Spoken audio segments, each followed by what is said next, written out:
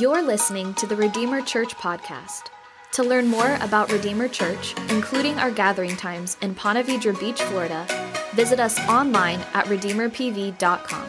Today's sermon comes from Pastor Sean Yost. Uh, we're doing a series this summer called Summer in the Psalms. And the Psalms are deep theology wrapped in beautiful poetry. And we're looking at what these Psalms can teach us. Today, we're going to be looking at uh, Psalm 63 and what we can learn about prayer. Our church mission statement is to reach people with the life giving message of the gospel so they may become fully devoted followers of Jesus. We, we talk about this frequently that there's a lot of good messages. There's good motivational speakers. There's good do it yourself messages out there and TED Talks and all these things. But there's only one message that can take somebody from death to life, and that's the message of the gospel. That's what we're called to be as the body of Christ, as the church. We're called to reach people with that message so that they can become fully devoted followers of Jesus. What does that mean? What is a fully devoted follower? In Growth Track, we spend time really defining what we mean by fully devoted because it could mean something different to each of us. If we just went around and asked, what does it mean to be fully devoted? We might come up with different answers. Some things might be the same, some things would be different. And so what we've done is we've identified what we believe are five core characteristics. As followers of Jesus, these are five core areas, five fundamental things we believe that we all need to be growing in as followers of Jesus. And that is why we're fully devoted to these five things. Last week, we talked about being fully devoted to God's Word. God's Word is His revelation of Himself to us. This is how we get to know God and we're fully devoted to his word, to study it, to read it, to preach it, to base our lives on it. We believe it to be inspired by God. And so we have a high value of the authority of scripture. The second is this, that we're fully devoted to prayer. Prayer is communication with God. Prayer is fundamental for us. The foundation of every Christian endeavor is prayer. Jesus was the Word made flesh. Jesus lived on this earth and Jesus spent time praying. I mean, if there was ever a person that lived that could maybe go through life and not pray, you think it would maybe be Jesus. But Jesus spent so much time in prayer. His followers saw this about him and they said, Jesus, man, teach us how to pray. Like, I mean, we grow up learning prayers. These were Jewish men who had grown up learning the Torah and learning the prayers and learning how to pray the Psalms. And they, they knew prayers, but there was something different about the way Jesus prayed. They said, Jesus, teach us how to pray. Jesus once said, a, a, a student is not above his teacher, nor a servant above his master. In other words, if it was necessary for Jesus to pray, how much more necessary is it for us to pray, to spend time in prayer? Prayer is communication with God. Prayer is easy to do, but prayer is also easy not to do. But think about this. We have an opportunity, we actually can talk to God. That's what prayer is. You know, I've lived in, in Jacksonville a long time, but I've never met the mayor. I've been in the state of Florida for a long time, but I can't just ring up and go have an appointment with the governor. I've been a citizen of the United States my whole life, but I can't just ring up and go sit down with the president of the United States. But I can talk to the creator of the universe on a daily basis. That's amazing right? We actually can talk to God. We can communicate with God. And communication is talking and listening, and God speaks to us. He speaks to us through His Word. He speaks to us through other people. He speaks to us through our own experiences. He speaks to us through the Holy Spirit within us. God speaks to us. That's what prayer is. It's communication. But like I said, prayer is easy to do and is also easy not to do. To just get busy, distracted, or for whatever reason, avoid it. We're going to take a few minutes and pray for our nation. And before we do, I just wanted to go through a few other thoughts just to really lay this foundation on why prayer is so important. I want you to grow in your desire for prayer, your love for prayer, your commitment to prayer. Sometimes it's a discipline. Leonard Ravenhill, I have a lot of books on prayer, by the way. A lot of books, read about prayer, people who, great revivals, prayer books. I love prayer books and I love books about prayer. And one time I was reading a couple of books about prayer and it occurred to me. Reading books about prayer is not the same thing as actually praying. Huh. It's kind of like this. If you had a, if you had a manual to a, a brand new Tesla and you're reading that manual, man, it's so good. I get together with other Tesla owners and we read the manual together and we highlight our favorite parts. But we never actually get in the Tesla and drive it. We've kind of missed the point. And so, even reading books about prayer or talking about prayer or listening to a sermon about prayer is not the same thing as actually taking time to pray. It's the foundation of every Christian endeavor. Leonard Ravenhill, in his book, Why Revival Tarries, he wrote a book called Why Revival Tarries. Christians talk about revival, they want revival. Well, why, why does it not happen? His contention is perhaps not enough praying. He says prayer is not an argument with God to persuade him to move things our way, but an exercise by which we, we are enabled by his spirit to move ourselves his way. That's great. He said this notice we never pray for people we gossip about, and we never gossip about people we pray for. Prayer is a good deterrent. Honestly, this is one of the reasons we pray for other churches. We want God to bless them, but it also gives direction to our own heart so that we don't enter into critical or gossip conversations about other churches. We pray for them. He said, Many people study because their brain is hungry, even for Bible knowledge. But we pray because our souls are hungry for God. William Carey, a great missionary, he said, Prayer, secret, fervent, believing prayer lies at the root of all personal godliness. Richard Foster, the author of Celebration of Discipline and an entire movement of spiritual disciplines, he said, Prayer catapults us onto the frontier of the spiritual life. It ushers us into perpetual communion with the Father. I'm trying to stir your desire for prayer. One other quote I want to share with you from Leonard Ravenhill, and it's a little more convicting. He was, he was quite direct. He says this The prayer chamber is a mirror reflecting our spiritual condition. Is this why the prayer chamber is so unpopular?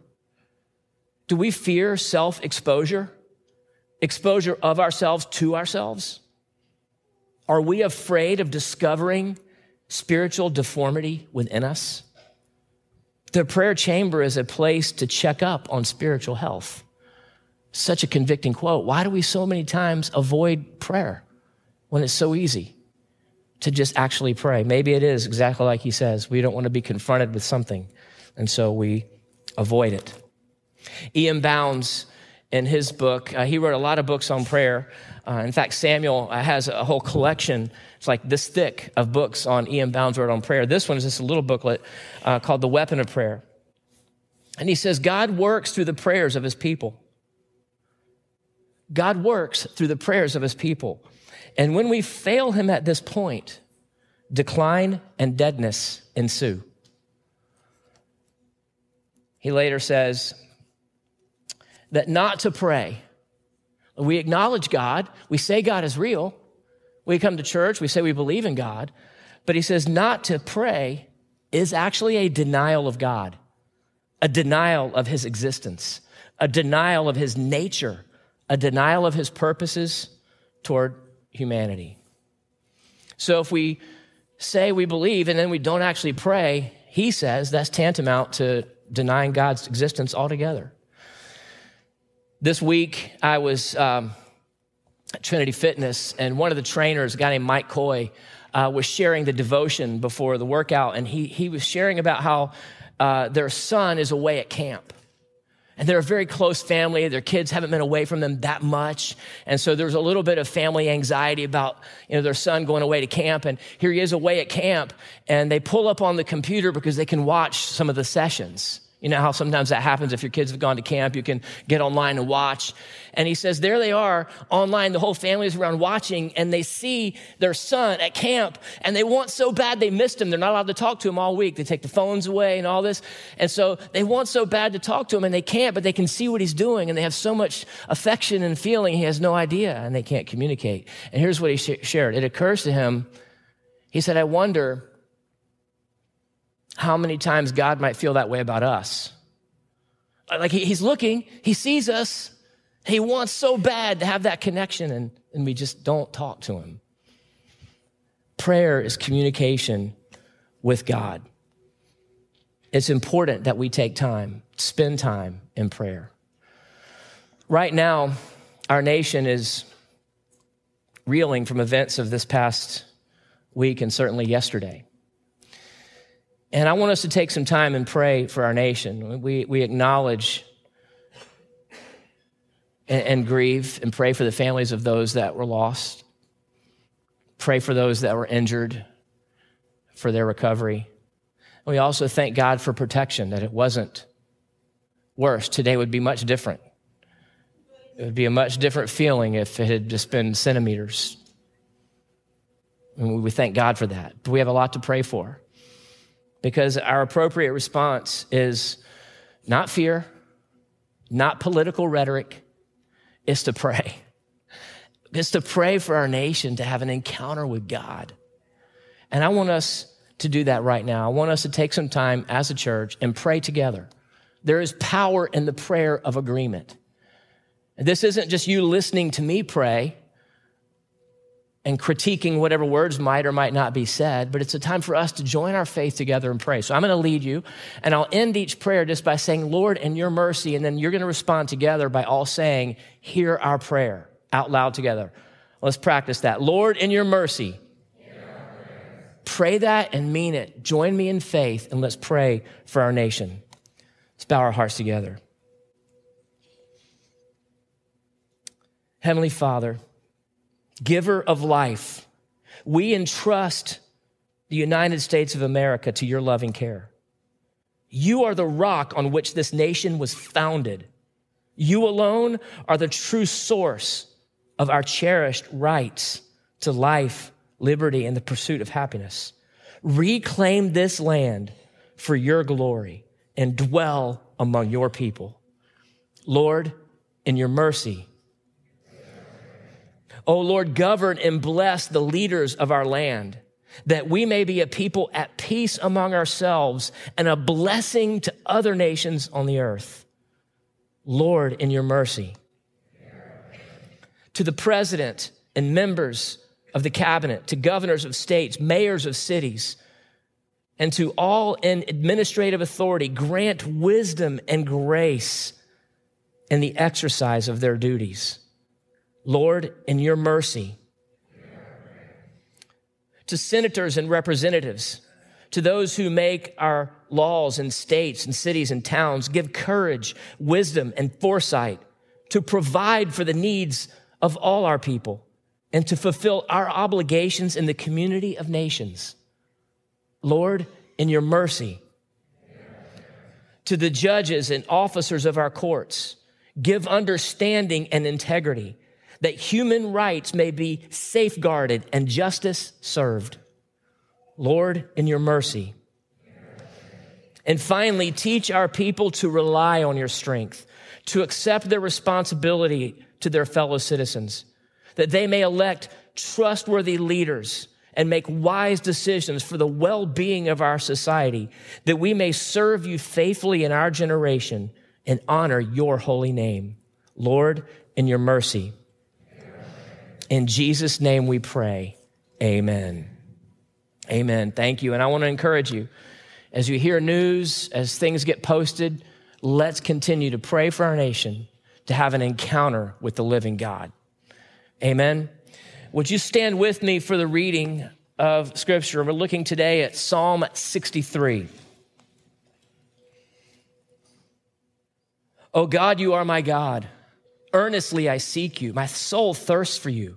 My flesh faints for you, as in a dry and weary land where there is no water.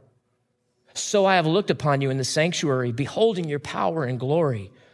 Because your steadfast love is better than life, my lips will praise you. So I will bless you as long as I live. In your name I will lift up my hands.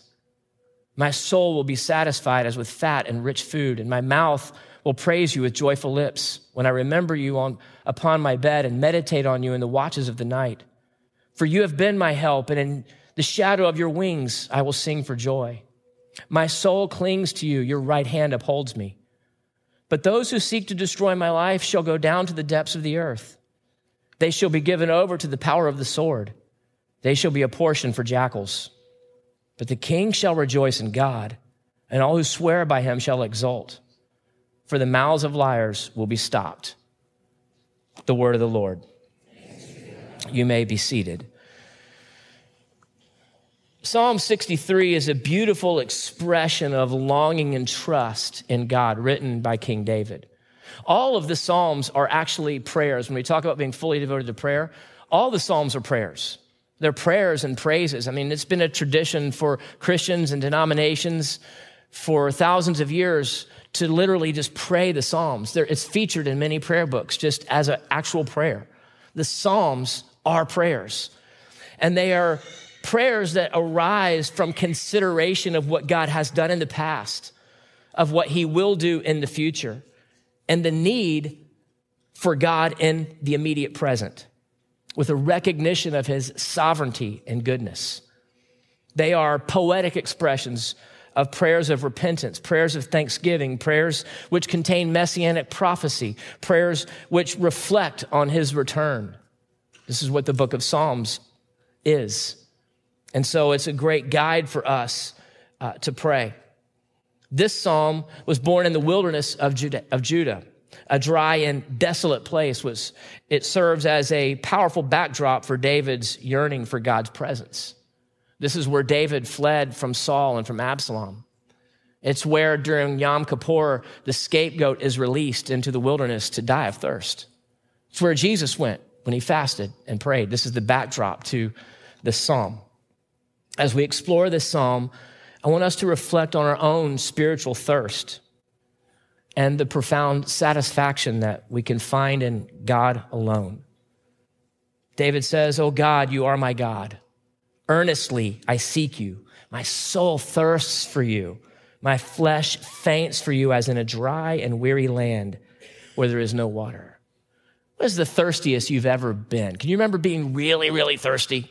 and you just you needed something you didn't even care what you just wanted something to drink or maybe maybe you think of these movie scenes where somebody's out in the desert and they're so thirsty they've been dry, riding on the camel and the camel finally so thirsty it dies which is not possible for you to outlive a camel but in the movies it happens and then the guy he's crawling through the you know through the sand and he sees he sees water ahead and suddenly, you know, you're looking, he's crawling past the scorpion and his, his lips are cracked and his skin is parched and he sees the water and he gets suddenly this burst of energy and he jumps up and he runs to the water and he dives in it and he starts swimming around in it only to realize it's a mirage and he's actually just still in the sand. You ever seen those kind of movies?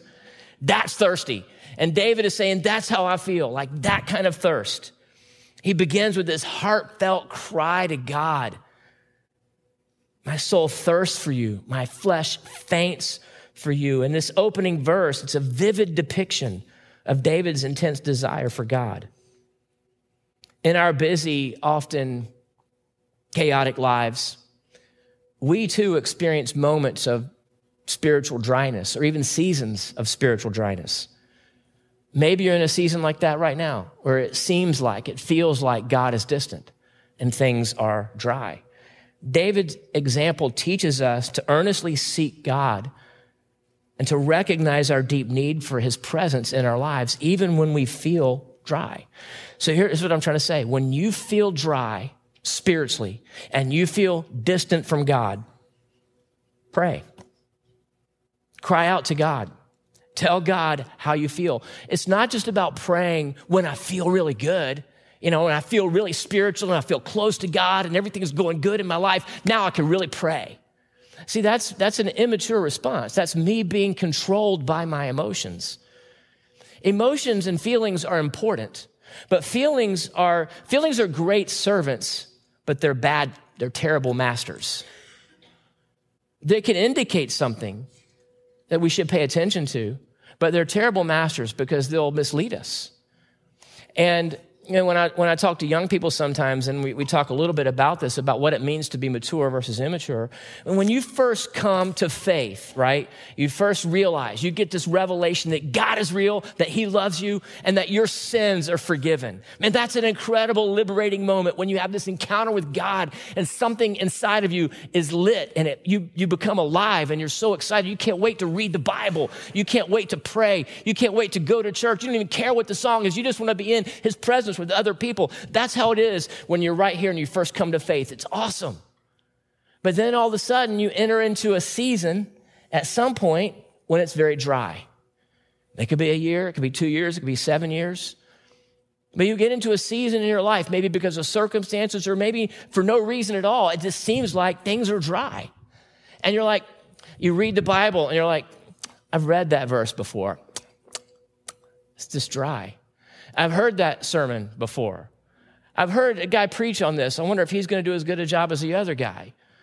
I've heard that song before. If that worship leader sings that song one more time, not only am I not going to worship, something bad might happen. See, we get down here, and that's a reaction. And so, what happens is when we feel like that, this is where people bail.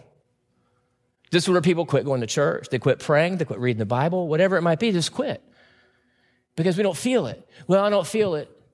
And I've heard people actually use this as an excuse.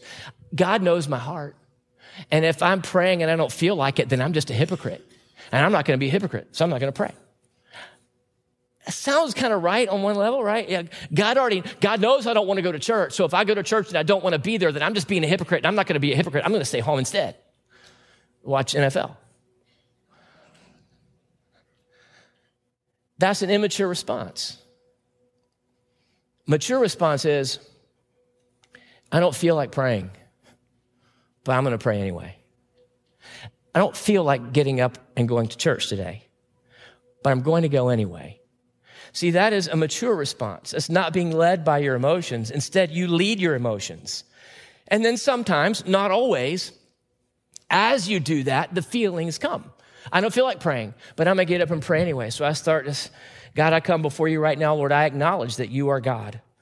I'm not even feeling it. My heart's not in it, but I'm doing what I know to do. God, I acknowledge that you are God. I acknowledge that you are the one that is in control of my life. You are sovereign over all things. I come to you right now, God, and I, I, su- I, submit my life to you. God, I pray that you would have your way in my life, even today.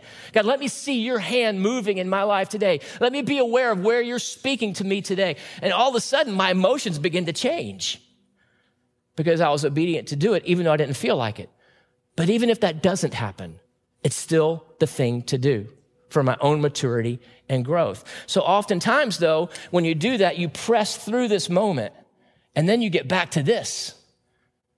But now this is even better because you've weathered some storms. Now you've been through some stuff and there's a depth to it.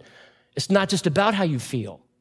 And then when I get to this point next time, it doesn't freak me out. I've been spiritually dry before. I know how to get through this. How? But what God told the church to do in Revelations do the things you did at first. Continue to do the things you did at first, and then you move right through this. In a dry and weary land where there is no water, when you feel dry, pray anyway. David continues So I've looked upon you in the sanctuary, beholding your power and glory. Because your steadfast love is better than life, my lips will praise you. So I will bless you as long as I live. In your name, I will lift up my hands. Even in the wilderness, even in the dry season, David recalls times that he encountered God's presence in the sanctuary. He remembers God's power and glory and this memory fuels his worship and praise. You see this throughout the Psalms as a time of, of looking back and remembering what God did, where they saw God's faithfulness, where David or one of the other psalmists encountered God. You see this throughout the Old Testament. They would build altars to remember God's faithfulness so that the next time they got in a terrible situation, they could look back and go, the God who took us through that, he'll get us through this. It builds our faith. And that's what you see happening in the Psalms.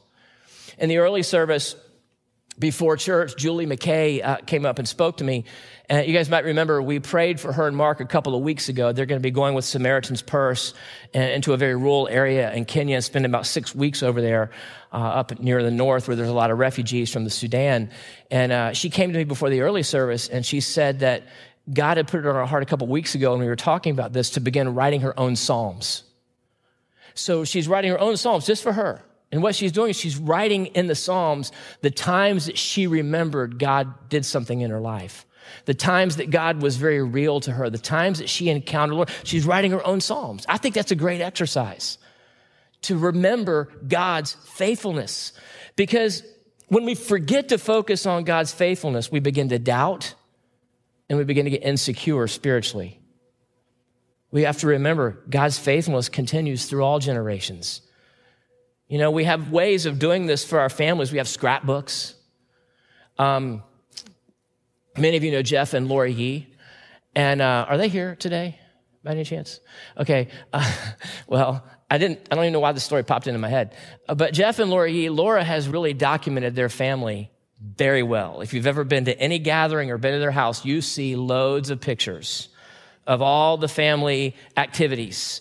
And uh, she's just been so good about doing that. And this is what we do as a family. We create scrapbooks. We create these moments where we can remember our family, birthdays, holidays, vacations, things like that. They're important to us to remember. Even, even Facebook does this. It pops up your memory 10 years ago. Y'all ever have that happen? Sometimes I'm not glad about it. It like pops up and I, oh yeah, I used to have hair. Thanks, Facebook. But, but the point is, we need to be intentional about remembering God's faithfulness and recalling the ways we encountered God, like David is doing here. I remember, I feel dry right now, but God, I remember when I encountered you in the sanctuary. I remember when you spoke to me. I remember when you made yourself so real to me, even as a kid. I remember certain moments in my life when I knew that God was present with me.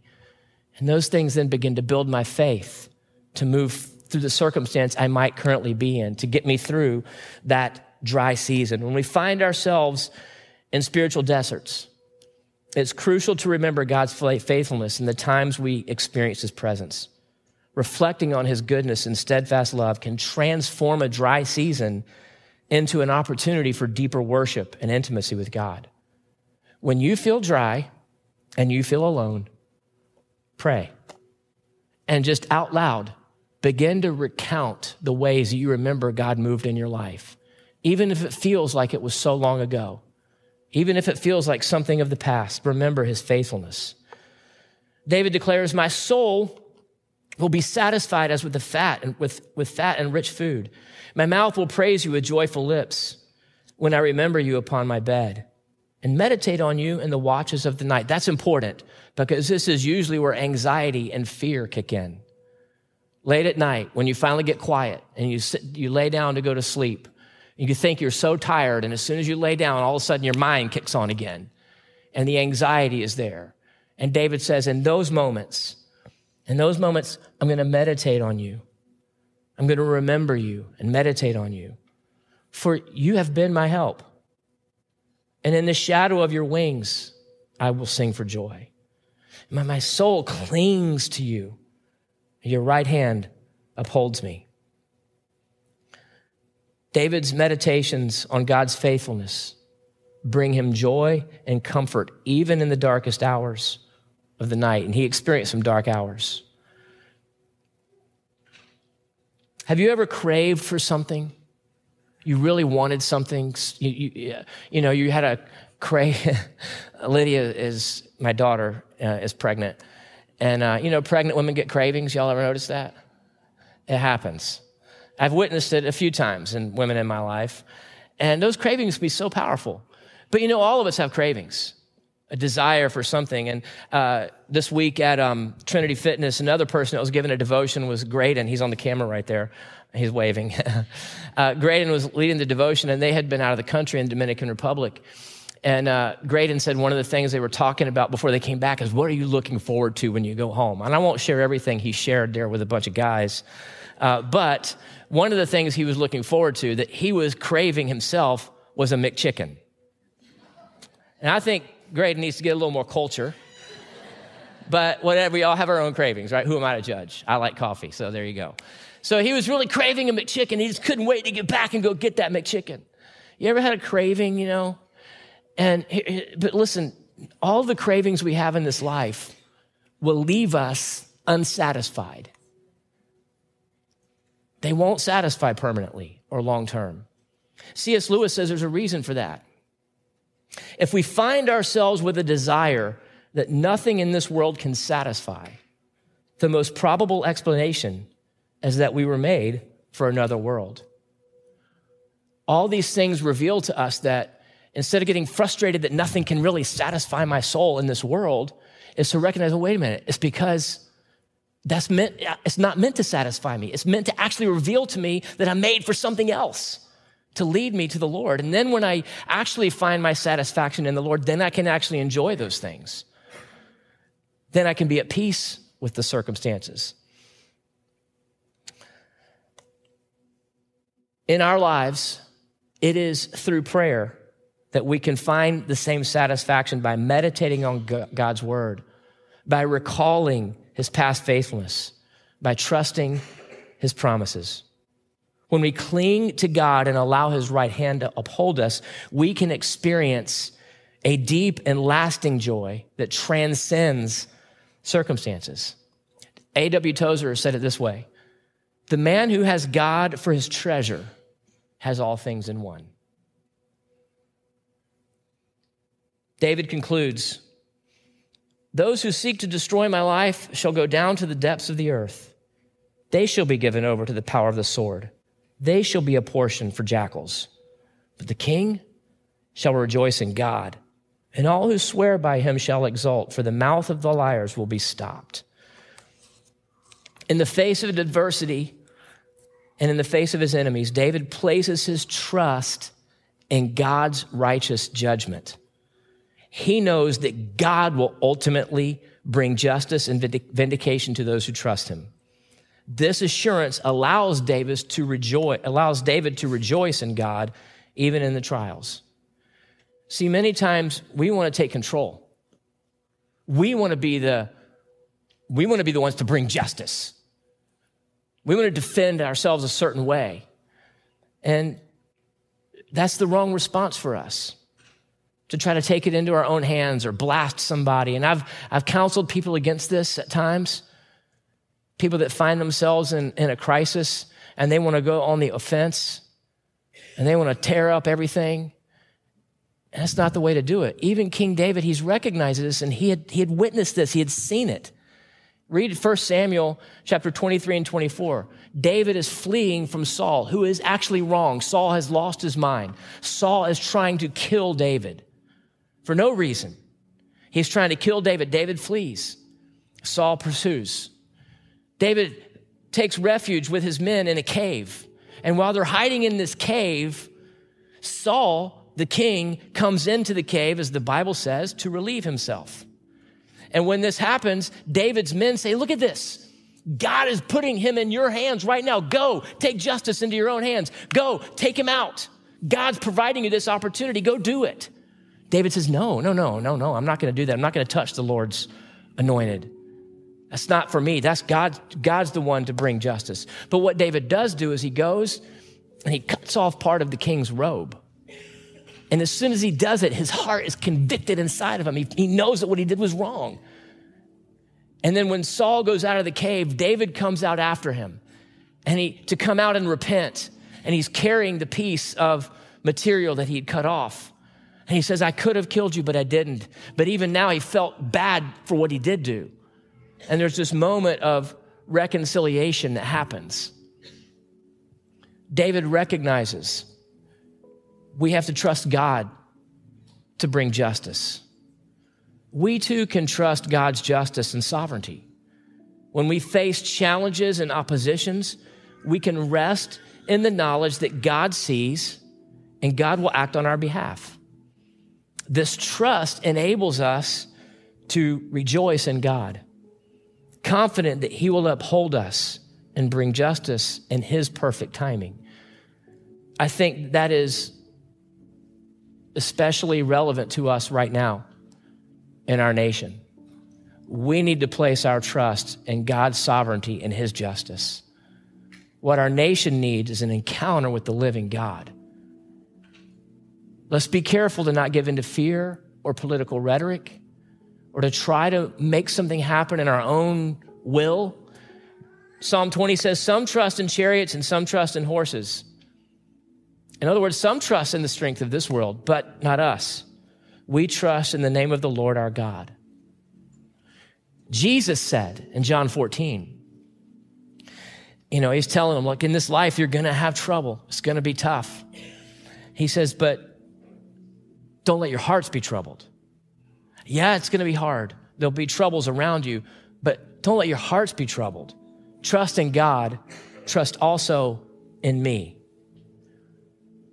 Placing our trust in Him is this beginning, it's the first prayer. It's yielding and surrendering to placing our trust in Him. Psalm 63 invites us to cultivate a deeper longing for God, to remember His faithfulness, to find satisfaction in His presence, and to trust His judgment. As we journey through our own spiritual deserts, let's follow David's example of seeking God earnestly, praising Him joyfully, and trusting Him completely. May we, like David, declare with confidence God, you are my God. Would you stand with me this morning and we're going to actually do that right now?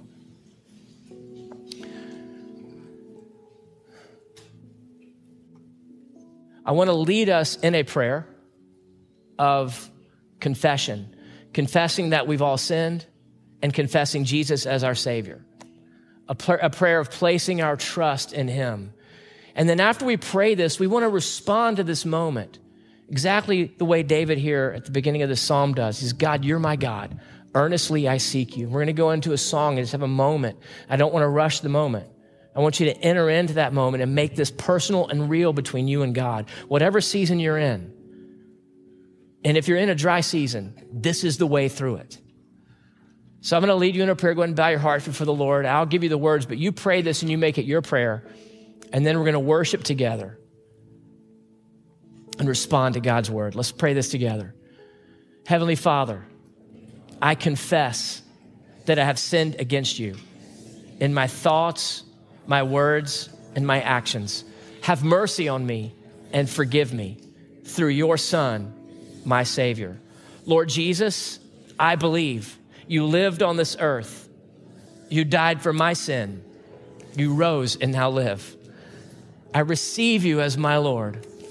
Holy Spirit, fill me with power and passion to follow you all the days of my life. Amen. If you were encouraged by today's sermon, be sure to hit subscribe wherever you stream your podcasts. To experience other sermons, live services, and additional resources, visit us online at RedeemerPV.com.